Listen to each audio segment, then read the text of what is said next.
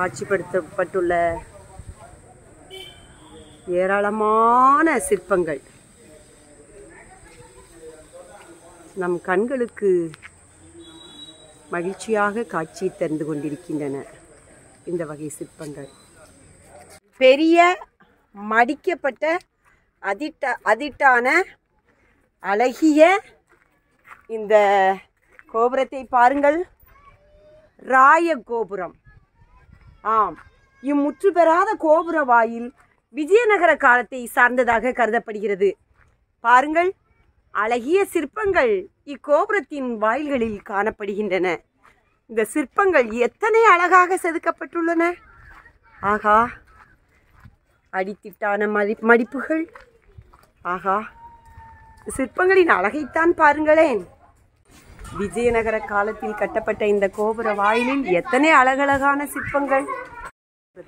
இந்திய தொல்லியல் துறைக்கு மிகவும் சிறப்பு வாய்ந்த இதோ அடுத்ததான ஒரு கணேச ரதம் என்ற ஒரு கோயிலை நாம் பார்க்கிறோம்.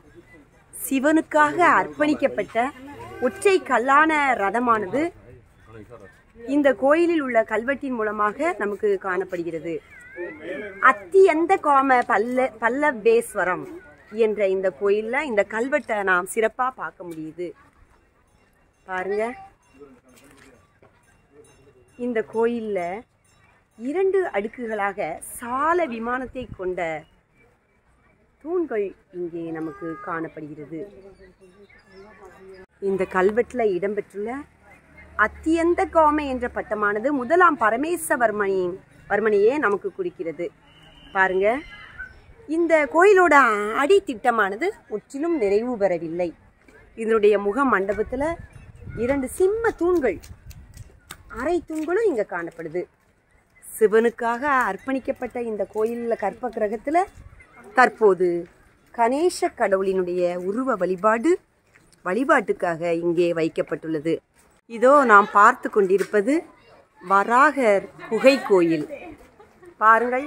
எப்படியாக ஒரு அருமையான பாறையை குடைந்து கோயிலாக குடைந்து உள்ளே எத்தனை சிற்பங்களை செதுக்கி இருக்கிறார்கள்